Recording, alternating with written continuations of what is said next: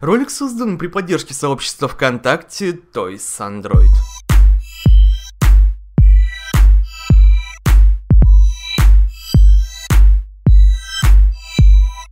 Привет подписчики, геймеры и гости канала и все, кто находится по ту сторону экрана. У микрофона, как всегда, Илья, и это 69-й выпуск рубрики «Игровой Android Fresh». Сегодня я представляю 10 новых игрушек за прошедшую неделю, так что поддержите канал лайком и мы начинаем.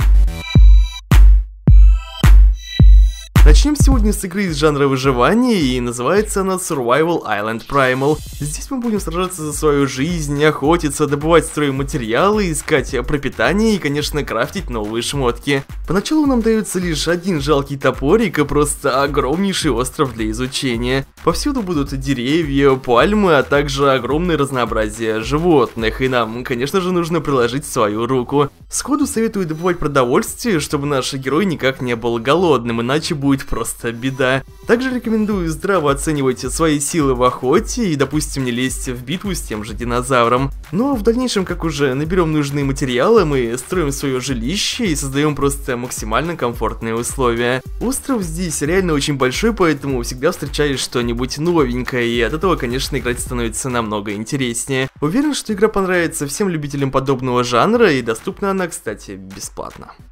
Ну а мы идем дальше, и вторая игра у нас для любителей русских тачек, опасного вождения и бездорожья. И это игра-симулятор вождения ВАЗ-2108. Игроков здесь ждет довольно различный симулятор с множеством игровых режимов. Здесь мы будем парковаться, участвовать в драг-рейсинге, кататься по бездорожью, дрифтовать и еще многое-многое другое. Также лично меня здесь порадовали разные виды камеры, то есть мы можем играть от первого лица, и это реально просто настоящий хардкор. То есть, если мы играем ночью или, допустим, в плохую погоду, то реально ничего не видно, и тут просто будет мега сложно. Ну, на самом деле, поначалу уровни на всех режимах более-менее простые, ну а далее уже, конечно, все усложняется. Разработчики, кстати, постоянно здесь добавляют новые фишки, поэтому я думаю, что игра будет только улучшаться. Ну а так, всем любителям аркадных и даже реалистичных симуляторов такое точно рекомендую, уверен вам игра зайдет и доступна она также бесплатно.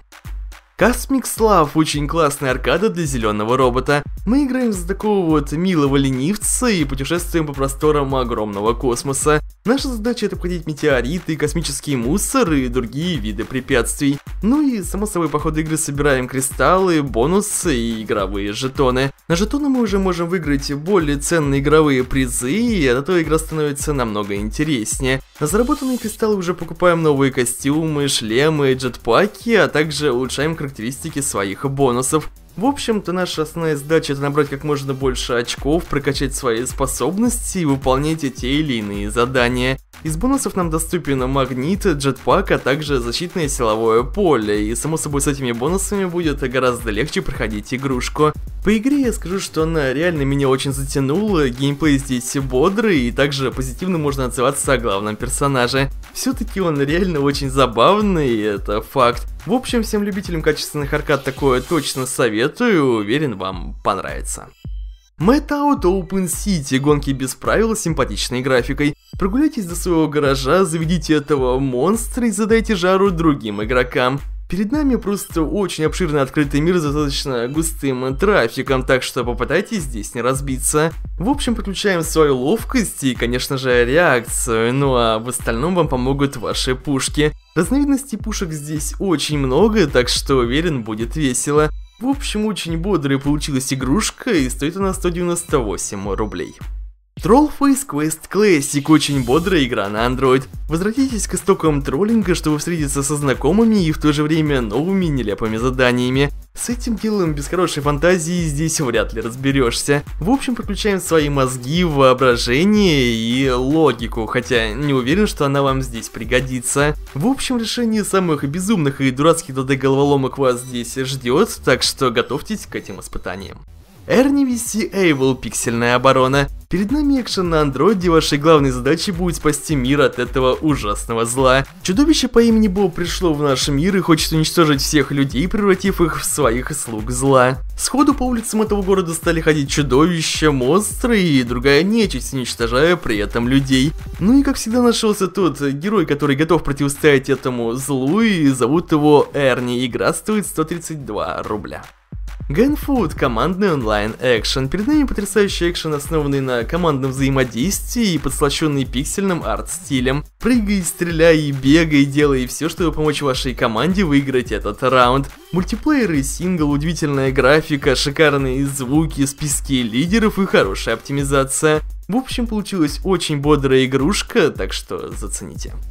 Ну что ж, а с новинками мы заканчиваем, и теперь игровые новости. Вышел новый, яркий и очень сочный трейлер игры Shadow Fight 3. Уверен, что многие фанаты просто очень ждут данный проект, и что ж, у меня просто хорошие новости. Разработчики обещают релиз уже в этом году, и я думаю, что игра выйдет прям на новый уровень, и это будет по-настоящему крутой проект.